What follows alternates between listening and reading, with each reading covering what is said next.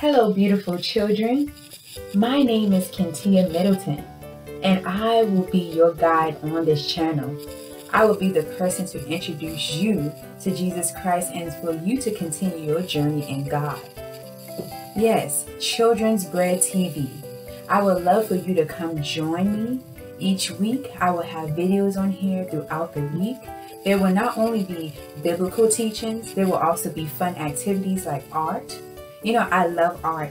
So we will be creating many things. Listen, remember I told you God is a creator. So on this channel, we will be creating. We will be using our minds to think of creative things. We will step into different realms within God, and we will learn how to operate with our Father. We will learn to hear the voice of God. We will hear Him speaking to us, and we will follow His directions.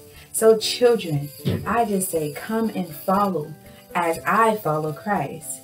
And we can be on one accord together, praying to our Father and getting the instructions from heaven as to what He wants us to do. I hope that you enjoy this channel and I hope that you subscribe it, like it, and tell all your friends about it. Tell your friends that Kentia is here to help you with your walk with God.